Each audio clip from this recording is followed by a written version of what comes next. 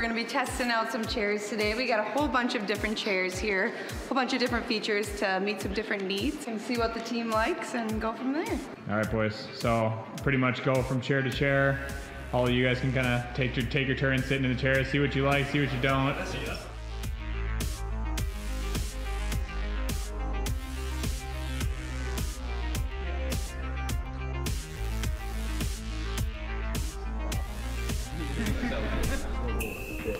Switched. We switched. We switched.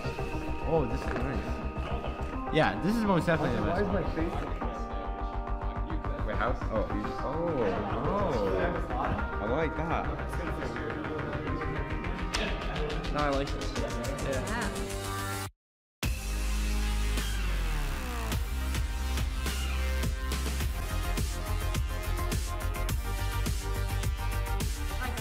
so you all remember getting fitted for the custom X Rocker gaming chairs.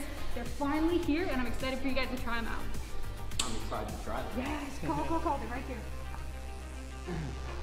Wow. All right. Wow.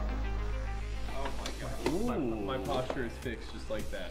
Ooh, this is kind of nice. Feels good on my work. That one was definitely the best. I'm just gonna take yours. Mm, no, I want this one.